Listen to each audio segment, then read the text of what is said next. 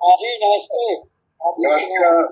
हाँ सभागार में उपस्थित सभी मित्रों को, सभी बंधुओं को नमस्कार।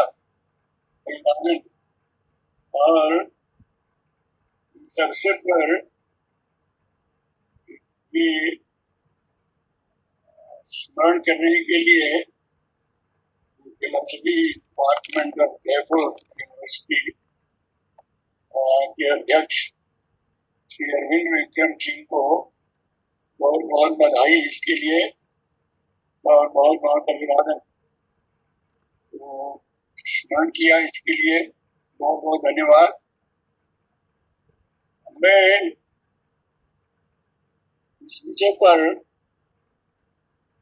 आने से पहले थोड़ा सा ये संकेत रूप में पृष्ठभूमि देना चाहता हूँ। और वो पृष्ठभूमि देखें तो वैदिक काल से एक मन के प्रति हमारा विशेष दृष्टिकोण है। मनस्ते महदस्तु में कि तुम्हारा मन महत हो, मनस्ते महदस्तु।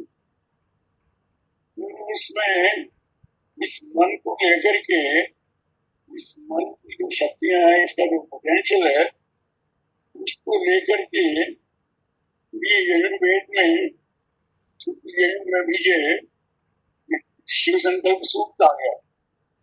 और वो शिव संकल्प सूक्त में भी जो मन की स्थिति रही वो, विशेष रूप से जो उसकी शक्तियों का निरूपण करके ये मन जो है, ये जागृतो दूरमुदयति दैवं तं सुप्तस्य तथैवेति दूरंगम ज्योतिषां ज्योतिरेकम तन्मे मनः शिवसंकल्पमस्तु इस मंत्र में मन की अनेक शक्तियों का कि दूरंगमम बहुत दूर दूर तक जाता है, यात्राएँ करता है। और ज्योतिषाम ज्योतिरेकम ज्योतियों ज्योति है। इंद्रियाँ जो है हमारी, समस्त इंद्रिया, वो ज्योति स्वरूप है, लेकिन उन ज्योतियों का भी मन के बिना, ज्योति की स्थिति, वो प्रकाश करती नहीं, अगर मन उसका साथ नहीं रहा। तो मन का उन छह सात मंत्रों में एक बड़ा महात्म गान किया गया है, लेकिन वो उसका समय है, वो आता है उसके ऊपर मना शिव संकल्प ये मन जो है ऐसा अनंत शक्ति का जो स्रोत है, वो शक्तियों का स्रोत वो मेरा मन शिव संकल्प हो जाए, उसका वो शिव संकल्प के साथ जुड़ जाए, उसका शिवत्व में आ जाए, ऐसी एक प्रार्थना जो है, उस शिव संकल्प सूत्र के अंदर मिलती है।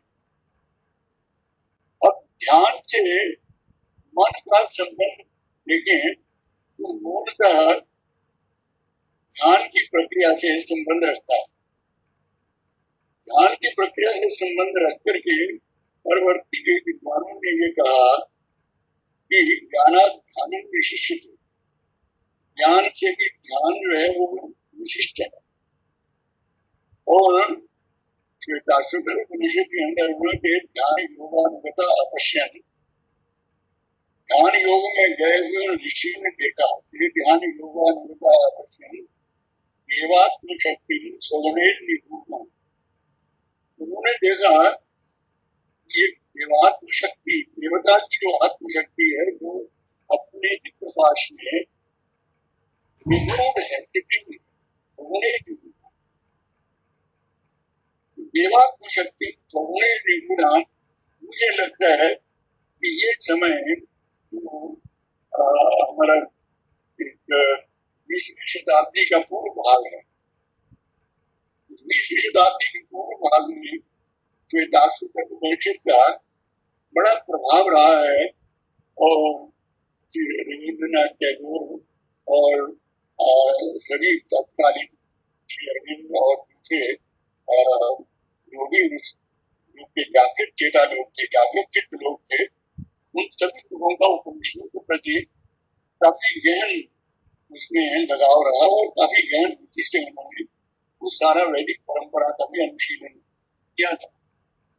तो और देवात्म शक्ति थोड़े निगुणाम जिसको जब मैं देखता हूँ तो मुझे लगता है कि ये बीज रूप में कहीं एक संकेत वो है जिसको श्री अरविंद पहचानते हैं।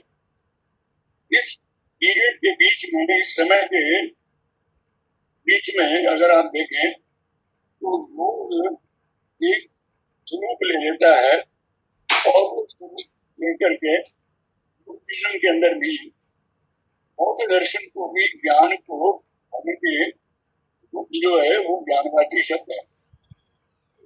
और जो है, वो ज्ञानवाचिता है।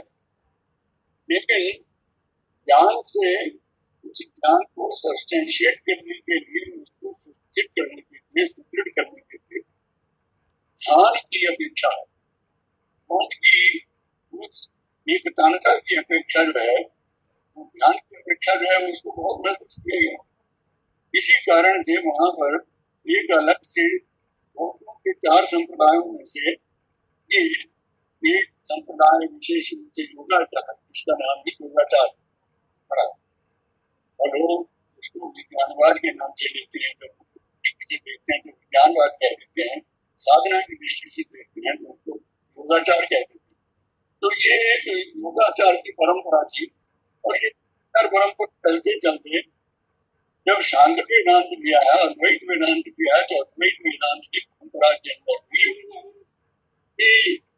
जितने वेदांत पर वो योग की व्याख्या हुई वेदांत पर योग की व्याख्या भी हुई और सांख्य पर योग की व्याख्या भी होती है दोनों तरह की व्याख्याओं को देखते हुए मुझे ऐसे लगता था कि योग वास्तव में एक इस प्रकार की अपेक्षा मनुष्य की रही है कि प्रत्येक काल वो एक सनातन आवश्यकता बनी रही है इस देश के लोगों को वो स्वात्म शक्ति को निगूढ़ जो आत्मशक्ति है उसको कैसे पहचाने और कैसे उसको पकड़े क्योंकि मूर्ता कारण ये रहा कि मनुष्य की अपेक्षाओं को जब पहचाना वो ये आदि मनुष्य का सबसे जो आदि संकल्प रहा है वो संकल्प एक ही रहा है। कि वो उसको सुख का अनुभव उसे हो हैप्पीनेस वो सुख का अनुभव उसको भी हो और उसके जो के लोग भी उनको भी सुख का अनुभव होना चाहिए। ये जो सुखानुभूति है, इस सुखानुभूति के लिए एक तलाश बराबर इस देश के अंदर अनाधिकाल से चलती आ रही है और बराबर स्थिति के अंदर भी है। इस युग में हमें लगा हमारे लिए बहुत सारा बहुत सारी हमारी अपेक्षाओं को जागृत कर दिया। विज्ञान ने हमारे सामने कैसा विराट रूप दर्शन किया है। इस विराट रूप को देख करके हम तरह उसके आगे कई बार ये स्तर करने लगते हैं कि ये विज्ञान में, आकाश में स्थल में जल में यहाँ पर इस सब उसमें कितने कंफर्ट उसने तो विज्ञान ने बहुत सारे कंफर्ट बहुत सारे सुख हमें इस तरह के दिए। सुविधाएँ दी सुख न क्या अगर सुविधाएँ क्या तो वो सुविधाएँ जो है, वो विज्ञान तो दे रहा है। लेकिन सुविधाओं के साथ ये आज के अंदर एक तो अपेक्षा थी, इस बात को समझने की। ने ठीक से समझा और उसको ग्रहण किया, वो अपेक्षा ये थी कि मन जो है वो, उसका जो स्वभाव है, उसको शेयरमिंट कहते हैं कि mind acts by representation and construction मन जो है वो कैसे करता है, मन का ये स्वभाव चाहे कितना ही मन को आप बना लीजिए, उसका बहुत विज्ञान के क्षेत्र में ले जाइए, वो उसके अंदर वो परिमित का ही, परिमित की ही चर्चा करता है परिमित का ही व्याख्या करता है। परिमित का मतलब क्या है कि जो सीमित है, देश और काल में निबद्ध है। उसी के बारे में विज्ञान चर्चा कर सकता है तो देश विषातीत कालातीत जो है, उसकी बात करना बात और तो देश और काल के अंदर जितना भी चिंतन हो रहा है वो सारे का सारा इंटेग्रल के अंदर कहते हैं। वो सारे का सारा मन का प्रकृति है कि वो कंस्ट्रक्ट बनाता है, तोड़ता है, खंडों में बांटता है। फिर उन खंडों को पहले खंडों में ठोस को बांटता है और फिर बांट करके फिर उनको कभी उनको सी लेता है कर है। उनको यूनाइट कर लेता है। उससे फिर एक माला बन जाती है या फिर माला को फिर इस तरह से मन का गति है। वो ज्ञान के क्षेत्र में बहुत आगे चली गई है। लेकिन वो परिमित को भी जानता है, अपरिमित के विषय में। वो अनंत है, वो अदृष्ट है। उसके बारे में ज्ञान चर्चा नहीं करता, क्योंकि के कामों में मेरी घर पड़ी हुई इसलिए वो वो अपरिमित है, वो अनंत है जो अदृष्ट है।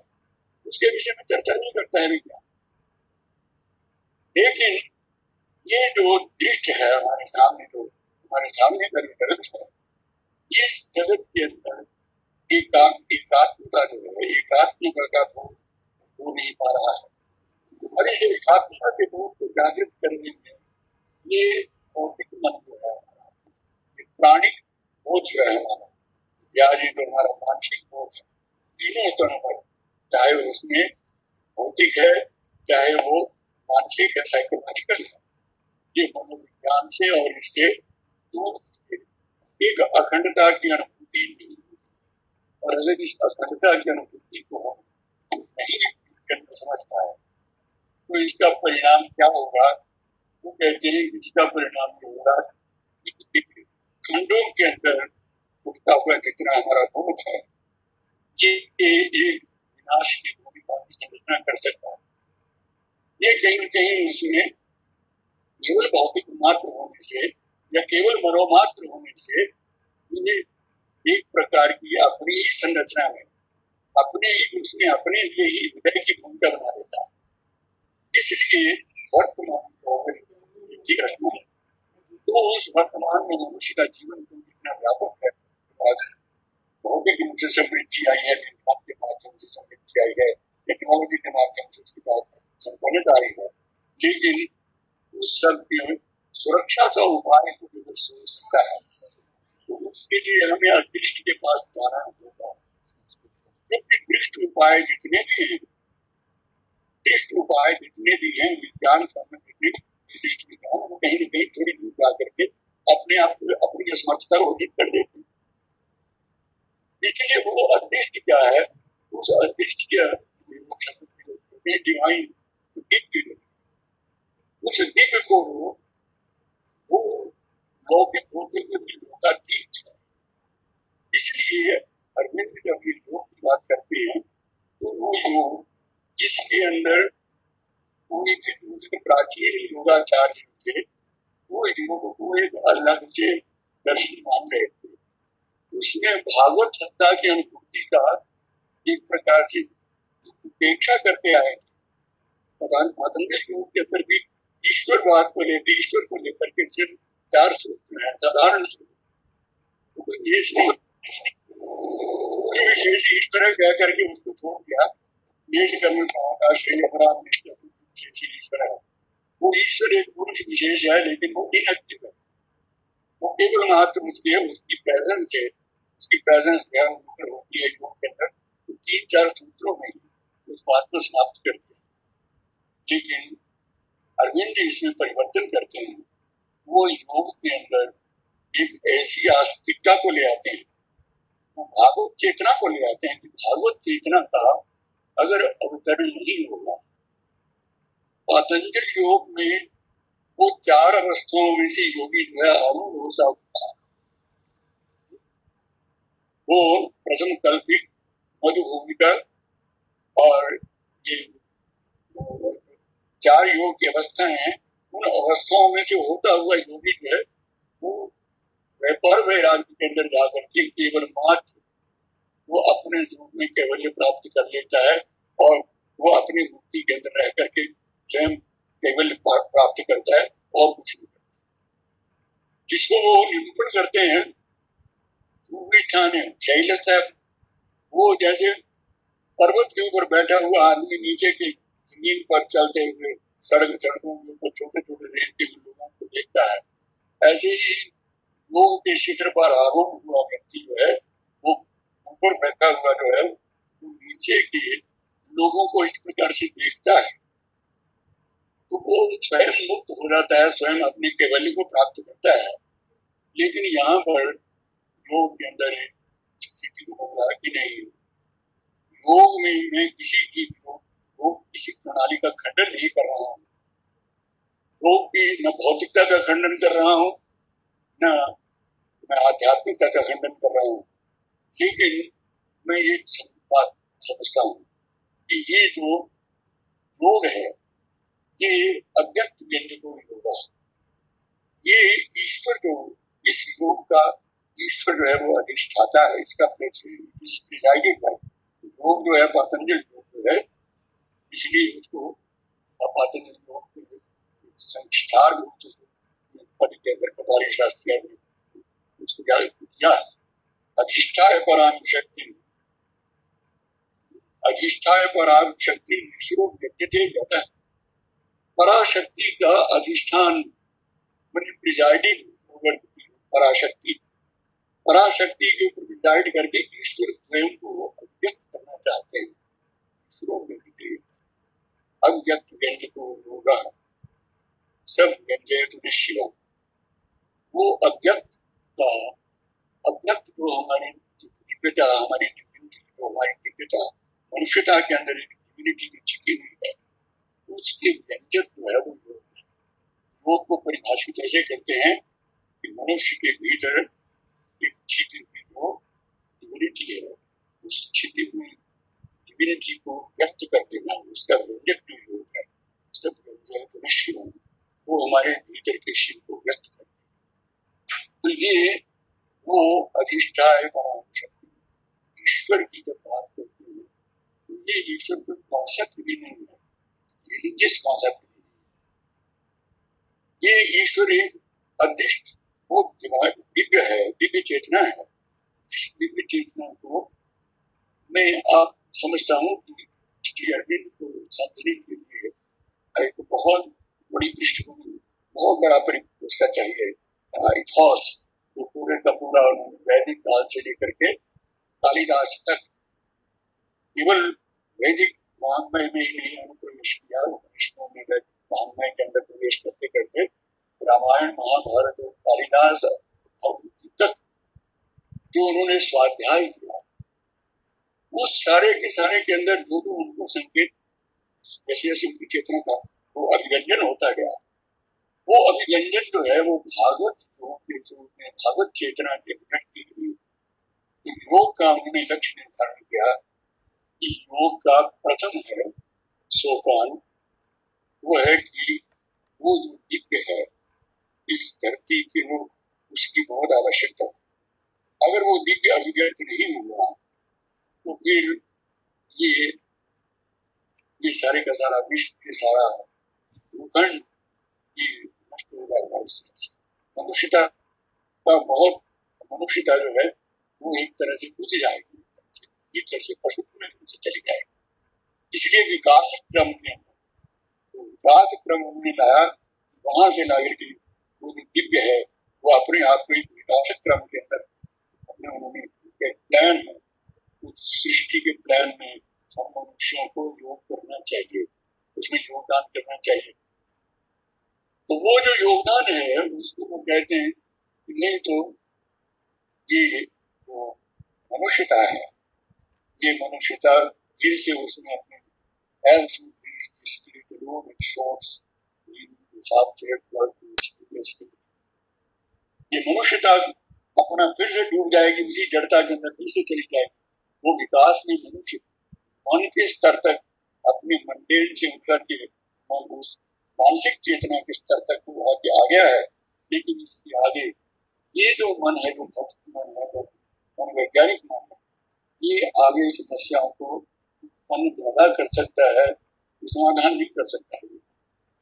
इस मन का समाधान करने के लिए एक सुपर मेंटल की अपेक्षा है, एक सुपर माइंड की अपेक्षा ये जो सुपर मेंटल है इस सुप्रमेंटल को लाने के लिए वो फिर अपनी परंपरा के अंदर से ये तलाश करते हैं और तेज मार्ग उसके लिए असेंडिंग होगा आरोहण का जो पथ है, वो लोगों को उसको बड़ा स्पेसिफिक करके, ऐसा नहीं है कि योग की बात करके तो फिलोसफी बना करके उसको सब्सटेंस सब्सटैंशियल एक उसको रूप नहीं दिया। है वो रूप दिया है। और वो है कि नहीं, उसमें पहली अपेक्षा है असेंडेंस के जिसका नाम रखा page page aspiration and surrender page क्या है? देखो पेज को विश्वास मत समझना। विश्वास जो होता है, वो हमारी एक मेंटल कॉन्सेप्ट होती है, हमारा विश्वास है। हम आमतौर पर कहते थे प्राय लोग वेद को विश्वास के अर्थ में लोग लेते हैं कि मेरा उसके ऊपर फेथ है, मेरा विश्वास विश्वास जो होता है वो एक मानसिक कंस्ट्रक्ट होती है कि हमारे जो वस्तु अनुकूल होती है, जो हमारा स्वार्थ सिद्ध होता है जैसा हमारा फेथ वो हमारा फेथफुल है तो फेथफुली जो है, ऐसा लिख करके हम फेथ शब्द का जो प्रयोग करते हैं, वो विश्वास के अर्थ में कर देते हैं, जो वेदांत भौतिक है, लौकिक है। इसलिए वो फेथ का अर्थ करते हैं कि नहीं फेथ के बारे में श्रद्धा है। फेथ जो है, जो श्रद्धा है, ये दृष्टि के प्रति नहीं होती है, या दृष्टि के प्रति होती है। भगवान है दिव्यता है, इसके लिए मुझे, मैंने भगवान को देखा या नहीं देखा? लेकिन मुझे उसके प्रति श्रद्धा है। मैं, मैंने श्री अरविंद को देखा या नहीं देखा डजन मैटर लेकिन मैंने नहीं देखा। मैंने ना उसके प्रति श्रद्धा है पतंजलि के उस योग के प्रति मेरी परंपरा के अंदर बड़े बड़े आचार्य सत्य का साक्षात्कार किया। उन सभी को मैंने देखा नहीं है, लेकिन मेरा उनके ऊपर विश्वास नहीं है। विश्वास बहुत ही लौकिक, बड़ा ही भौतिक, बड़ा छोटा प्रश्न शब्द है।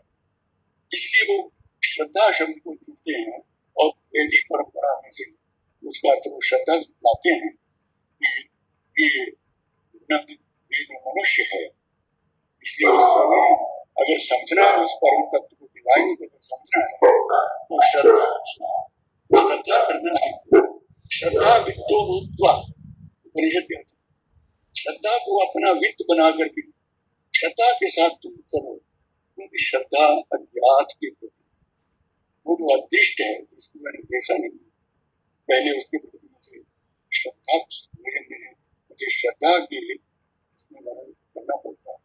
और इस श्रद्धा में एक प्रकार का वो है, जिसे हैं चॉइसलेस वर्ण जो है, वो श्रद्धा है। श्रद्धा में निर्विकल्पकता है। शेरबंद कहते हैं कि देर इज़ सम वो सर्टिट्यूड क्या है? एक ऐसा निश्चय है कि कोई इसको तोड़ नहीं सकता वो फेथ नहीं है, वो विश्वास ऐसा नहीं है। वो श्रद्धा है जिसे कहते हैं श्रद्धा अग्नि से देते श्रद्धा से अग्नि अग्नि की तरफ़ प्रज्वलित है। तो श्रद्धा जो है योगियों का समावेश है। प्राथमिक शैनिज्म में इसी को समावेश कहा है। जब समावेश आता है, ये समावेश होना पहले ये चॉइसलेस वर्ण जो है, ये बड़ा अपेक्षित फिर उसके बाद वो दूसरा देते हैं एस्पिरेशन एस्पिरेशन क्या है? उसके लिए हम शब्द प्रयोग करें कहेंगे सत्य संकल्प संकल्प बड़ा शुद्ध होना चाहिए सत्य संकल्प उस परम सत्य को, उस परम को, वो भी डिवाइन है जो दिव्य है। उस दिव्य के प्रति मुझे उस दिव्य का अनुभव करना है, उसका साक्षात्कार करना है। साक्षात्कार करने के कारण ही वो ऋषियों के प्रति बड़ा आदर प्रकट करते हैं। सावित्री के अंदर उन्होंने ऋषियों के प्रति बहुत बहुत आदर प्रकट और आदर प्रकट करते हुए ये कहा कि वास्तव में योगी ये लोग थे जिन्होंने वो जो बिल्कुल अनंत था, वो बिल्कुल निर्विकल्प पकड़ में आ ही नहीं सकता। उसको इन लोगों ने साक्षात्कार किया एंड ज्वाइन वो जो अनंत था उसको उसको ज्वाइन कर दिया किसे? अपरेंट वर्ल्ड वो लोकोत्तर को इस लोक में उतार बारह वर्ष इसलिए वैदिक ऋषियों के प्रति उनका सम्मान यह था कि वो केवल सत्य के साक्षात्कार के लिए सिर्फ़ ऊपर गए, ऐसा नहीं। ऊपर से वो उस दीदी को, उसका जो भी मैसेज था, उसको नीचे तक लाए, नीचे उतारे। इसलिए इस योग का जो बड़ा विशिष्ट कहते हैं कि ये ये जो श्री अरविंद का योग है, वो इस दृष्टि से भिन्न हो जाता है, क्योंकि तो वहाँ पर वो दिव्य चेतना के अवतरण का आरोहण क्रम के अंदर और प्रोफेसर ने चर्चा की थी आरोहण क्रम में। लेकिन उस आरोहण क्रम में ये सत्य संकल्प एस्पिरेशन एस्पिरेशन और तीसरा उन्होंने सरेंडर को कहा कि सरेंडर क्या है? ये सरेंडर एक अगेन ये उस पराशक्ति की, जिसका मैंने अभी ज़िक्र किया। पराम शक्ति प्रतिष्ठा उस परमेश्वर की पराशक्ति उस पर, पराशक्ति के आगे एक बिल्कुल निस्वार्थ समर्पण है। सर्वतोमुखी सर्वतो भावे समर्पण सर्वतो भावे समर्पण का मतलब ये, उसके पीछे कोई, आपका कोई मोटिव नहीं है। कोई इस तरह से नहीं है मैंने सिद्धि लेना है सिद्धि नहीं है। मुझे सिद्धि प्राप्ति है करनी है जब ये करना है। वो भी इसी को उन्होंने ये मदर जब पुस्तक लिखी थी छोटी सी उस मदर पुस्तक के अंदर उन्होंने ये इसी को इन तीन बातों को ही उन्होंने एस्पिरेशन के माध्यम से ये संकल्पना की कि चार महादेवियाँ हैं चार महादेवियों के माध्यम से तांत्रिक पद्धति ने इसका साक्षात्कार किया उसमें से एक महेश्वरी महेश्वरी जो वो अपनी एस्पिरेशन प्रथम जैसे कहना चाहिए उसका संकल्प जो करती है तो मिक्सर वर्ण करते हैं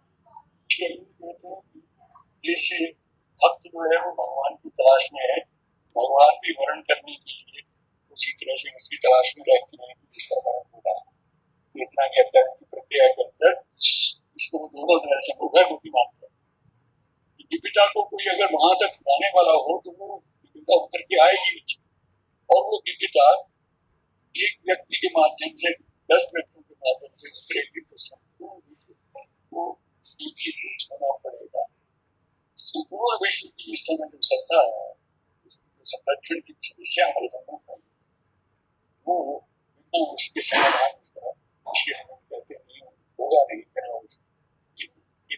अवतरण के बिना नहीं होगा तो इसलिए वो कहते हैं कि सरेंडर जो तीसरा स्टेप है ये पराशक्ति के साथ क्योंकि पराशक्ति उसी के साथ रहती है इसलिए पराशक्ति में महेश्वरी और पॉजिटिव सोच उस परम शक्ति के प्रति जो अदृष्ट है, उसके प्रति दूसरी इसके अंदर जो बात आई, वो है महाकाली।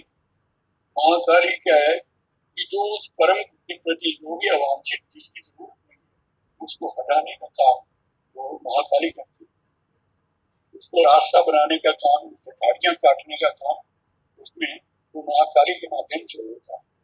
और महालक्ष्मी के माध्यम से लव और ब्यूटी ये दो चीज़ें और प्राकृतिक साधक के साथ असेंडिंग मॉडल में वो महालक्ष्मी कितना होता है तो वहाँ वो उसको एक प्रकाश लव और कंपैशन करना ये सारा भाव है महालक्ष्मी से सौंदर्य होना चाहिए अब इस से जाकर के फिर इसके आगे ऐड करते हुए जो परम परम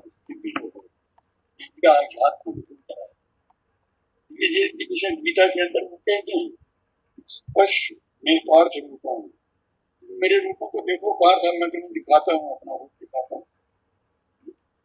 और ये रूप तुम मेरा जो देखोगे इस रूप को इस अनंत रूप में देखोगे तुम इसे लेकिन उसमें वो रूपों के अंदर अपनी दृष्टि का एक उन्मेष करना पड़ेगा दृष्टि को खोलना तो सरस्वती के रूप में वो शुद्ध रूप से श्वेत या श्वेत या शुक्ला ब्रह्म विचार सार परमात्मा ध्यान करती तुषार हार धरला या शुभ व्यवस्था वो भगवती महासरस्वती का वो महासरस्वती तक जाकर के सरेंडर जो है उसका पूर्ण होता है और वो पूर्ण समर्पण के साथ जहाँ पर निरपेक्ष भाव से उसमें स्वार्थ का कहीं भौतिकता का द्वेष भी नहीं रह गया है। ऐसी स्थिति में जाकर के जब दिव्य मन उत्पन्न होगा, अतिमानस उत्पन्न होगा तो वो अतिमानस में वो चेत चेतना उतरेगी। और वहाँ से वो जैसे कहते हैं गंगा जो है वो ऊपर से नीचे उतरते उतरते धीरे धीरे शिव के मस्तक से होते हुए हिमालय के ऊपर उतर आई। तो वो चेतना जो है, उस महासरस्वती सारस्वत चेतना से होते हुए उसको लेकर के वो साधक है, जो असेंडिंग मॉडल था। वो वहाँ बैठा नहीं रहा, वहाँ नहीं कहेगा कि स्वर्ग मिल गया कंपनी से वापस नहीं लो जैसे वो कॉन्सुलेशन है कम्युनिकेट की बात है। उसी तरह से यहाँ कम्युनिकेट करना है साधक उसे उस मैसेज को नीचे लाना है। आरोहण क्रम से अब अवरोहण के क्रम में पिता के संदेश को ला करके मनुष्यता के मानव जगत के अंदर उसको हील करना है और उस अवतार उस अवतीर्ण उस प्रतीक्षा के अंदर सारे लोग बैठे हैं, वहाँ पर आश्रमों के अंदर। कहाँ जाएँगे वो अवतीर्ण होगी तो इससे मैं समझता हूँ कि ये आरोहण और अवरोहण का विक्रम है। ये कुंडली योग के साथ इतना बड़ा घनिष्ठ संबंध है विषय अन्यत्र हो जाएगा। लेकिन सूत्र में अगर शेयर दर्शक को मैं आपसे कहूँ तो आप देखिए कि उनका एक प्रतीक बना हुआ है उनके एप्लीकेशन के ऊपर। एक प्रतीक है, बना हुआ, जिसके अंदर एक त्रिकोण जो है, ऊपर से नीचे की ओर आता है। त्रिकोण कहते हैं उन्होंने। बनाया। ऊपर से नीचे की ओर जो त्रिकोण है, ये चित और आनंद का त्रिकोण फिर इस नीचे से एक त्रिकोण ऊपर को जाता है और षटकोण बन जाता है। नीचे से ऊपर को जाने वाला जो है वो जीवन, ज्योति और प्रेम का त्रिकोण है। जीवन, ज्योति और प्रेम, ये ऊपर को जाएँगे। सात और चित आनंद नीचे को आएँगे और ये ऊपर को जाएँगे। उनके बीच में एक चतुष्कोण सा बनता है। वो चतुष्कोण जो बनता है बीच में, दोनों के योग से जो चतुष्कोण है, वो संपूर्णता का प्रतिबिंब है। इसलिए पूर्ण योग, श्री अरविंद के योग को पूर्ण योग नाम से कहते हैं। वो पूर्णता है, चतुष्कोणता जो है वो परफेक्शन संपूर्णता का है। और उसके बीच में कमल का रूप है वो उस योगी उस चेतना का अवतरण है। यौगिक चेतना का अवतरण है इसी पिता को लेने के लिए तपस्या करते हैं तपश्चर्या से उसमें जो सातों लोगों में से कहते हैं कि ये तपश्चर तपस ये चेतना होगी। उसके लिए तपस वो, उसमें वो जो कमल है बीच में कमल जो है अरविंद वो अरविंद जो है, वो उस अवतीर्ण चेतना का स्वरूप है, निर्मल चेतना का स्वरूप है। और उस कमल के नीचे जो जल है, वो यूनिवर्सलिटी नानात्व का सिंबल है नानात्व का सिंबल है? नानात्व मैंने जितने जल है तो जल के के जो हल्की हल्की सी लहरियाँ हो गई तो ये एक जो उनका प्रतीक बना है। वो प्रतीक उस सारे उनके जो अतिमानस लोग जिन कहते हैं, जो सिंथेसिस ऑफ़ योगा क्योंकि वहाँ पर किसी का निषेध नहीं। है न भौतिकता का निषेध है, न परंपरा का निषेध है, न नवीनता का निषेध है। इसलिए ध्यान केवल मात्र, मानव मात्र के कल्याण की ओर है उसकी चेतना के बिना वो मानव कल्याण होगा नहीं। इसलिए केवल मात्र प्रार्थना करते रहने से वो कहते नहीं होगा सर्वे होगा सर्वे हमारा उसके लिए प्रैक्टिकली उस चेतना का आह्वान करना होगा नीचे उतरे और वो मनुष्य होगा सत्य संकल्प सत्य जीवन के साथ और बिना सत्य जीवन के साथ जुड़े ये जो अति महान का मन है ये तो नाना प्रकार के पास में करेगा और में मैं समझता हूँ कि ये उनके के इस भूमिका को मैंने समय अधिक ले लिया हुआ यहाँ नहीं उनका मैं हृदय से अभिनंदन करता हूँ आप सब लोगों ने उन्होंने सुना और मैं समझता हूँ कि एक बहुत ही आत्मीयतापूर्ण क्षण है और इस आत्मीयतापूर्ण क्षण के लिए आप सब लोगों के प्रति मैं हृदय से आभार व्यक्त करता हूँ। धन्यवाद।